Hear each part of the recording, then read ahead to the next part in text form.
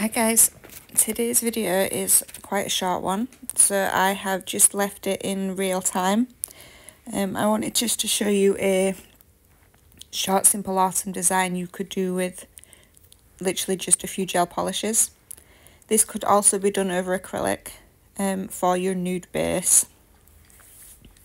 So I'm going to be using a dark green and an orange and a nude um, while applying this one. I did actually think it was a little too pink, but the end result actually works quite well. So I end up putting two coats of this one on because it is quite sheer. Um, I do use a spider gel at the end, but you could just paint really thin lines. So this is, I want to say this is Hunter Green. And this is one of the newer ones that I got from Nail and Beauty Excellence. Um, now I have a sun, a sun, sun lamp. And I found that that one struggles to cure that particular brand's darker colours unless they're very thin. So that's an extremely thin coat of green, so that ends up getting two coats. Now this orange is called Squash. Um, that only has one coat because as you saw it's very very thick. Um, and that one is from Wow, complete brain fart. One second. One second. I had it right in my head and then you know when it just bloody well goes. It is, I knew it had Lux. It's Brush On Lux. And they're one of the ones I got in the £2 sale. So I've done two coats of the ones that needed it, one of the one that didn't. And I am just matte top coating these. You do not have to. Um, but my personal preference when doing any nail art is to either matte top coat and then give it a wipe because some of them don't have an inhibition layer and some of them do. And, not and, or you can normal top coat if you don't own a matte top coat and then lightly buff it just so you've got a, a matte looking surface, there's no shiny bits. And then give it a brush off and do it that way.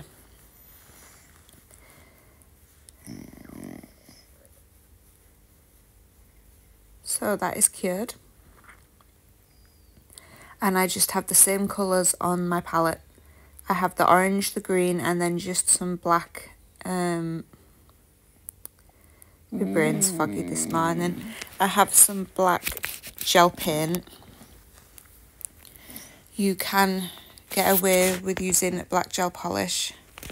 I used black gel polish for many, many years until I got a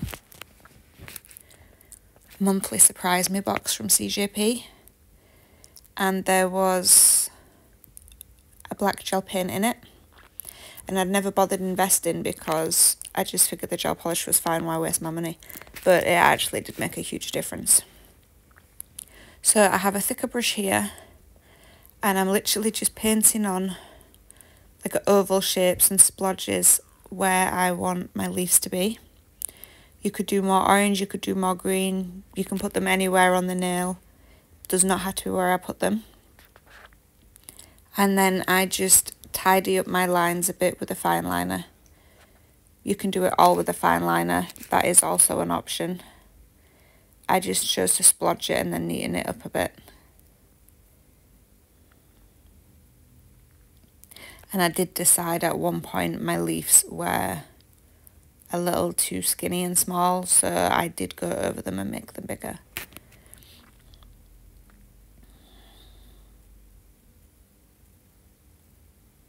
So I cured them so they don't go anywhere. And then um, I'm splodging a few green bits on there too. I do think these ones I put in rather awkward places. But hey her, they turned out okay. Now I do put a bit of gold foil on there just for a bit of sparkle later on. But if you do not have foil, you have the option of glitter. Dabbing a bit of gold polish on a sponge and tapping that in. Or if you have foil foils, you know, like on a roll, you can cut a tiny square scrunch it up, and then that gives it like, you know, like lines all over it. And then use a bit of foil gel and tap that into it so that will leave behind just tiny little crinkly bits. It won't give you like a full transfer sheet like it normally would. It's quite a good way to use foils actually. It gives you a really nice effect I've gone off camera a little there haven't I I had a noisy house yesterday. Chip was being whiny, so I chose to film and then just voice over this morning.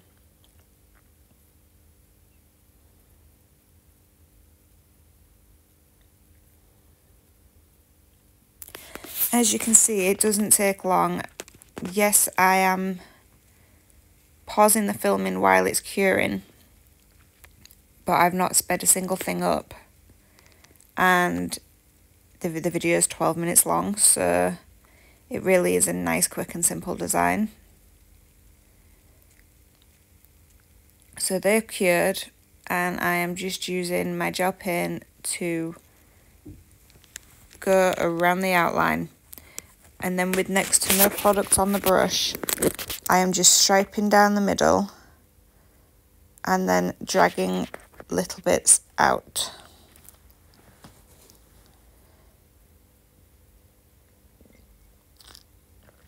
just to give that leaf shape. I am hoping you can actually see that or I may need to zoom it in a bit.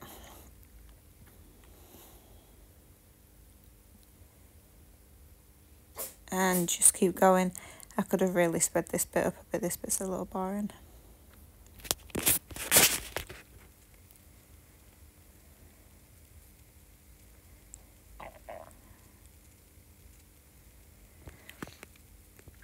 So to get the thinner lines, you want to just be using the very tip of your brush and a light pressure. So the more pressure you put on with your brush, the thicker your line will be.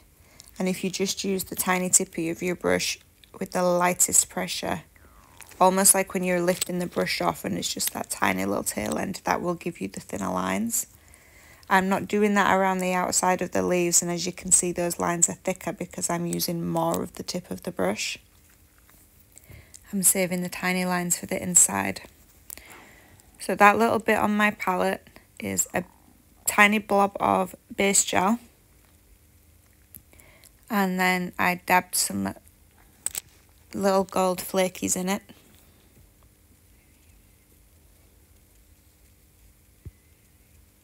A nice effect might be those Aurora flakies you see sometimes as well, or like a few chameleon ones have quite a few different ones. I don't know why, but every time I order off Shein or Temu, there's always at least one chrome or at least one different coloured flaky that goes in there. So I have a nice little box full. So I have a spider gel, which I make a balls in mess with.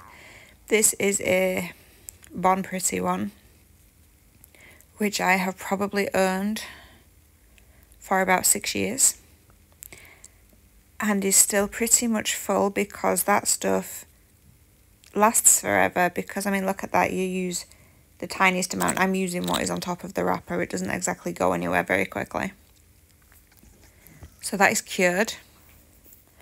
And here you have the option to shiny top coat everything if you prefer a shiny or matte top coat like I am and then cure.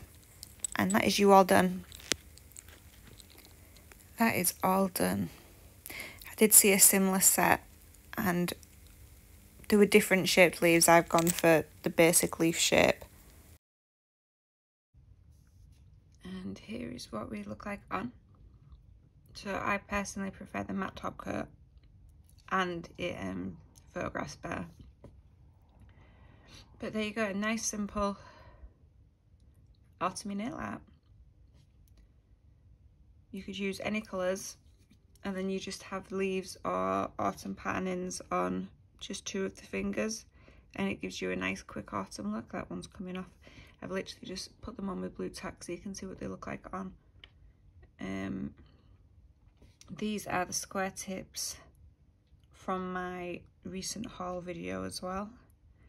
The sizes are a little off with these ones. Um, they don't curve to the nail as much as the almonds that I've been using for quite a while. Still absolutely loving them and they're a nice length. These personally are a little long for me, but that's because I'm, you know, a short nail girly. But thank you guys for watching. Um, have a go. It doesn't even need to be leaves. It could be anything. It could be an acorn. Um, and any colour combinations. So thank you for watching. Please leave a like if you haven't already. And please subscribe if you aren't a subscriber. I do try to put out regular videos. Some are just watching me work things with me ranting on in the background and some are tutorials. And check out my other videos. I have some really, really nice winter ones from last year. And I will see you all soon. Bye guys.